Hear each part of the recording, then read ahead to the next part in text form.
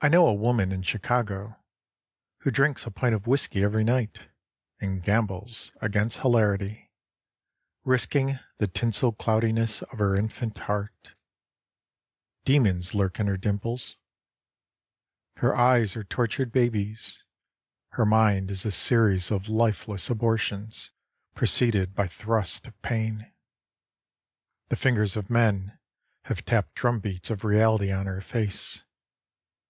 Beneath an electric light She drinks her pint of whiskey every night, Like one who endures an imbecile's caress While waiting for her master. His foot sound on the white tiled floor Will hold the musical effect of a blow Tantalizing her body. Throughout the night She has been an interrupted caper, Waiting for its orchestra of pain.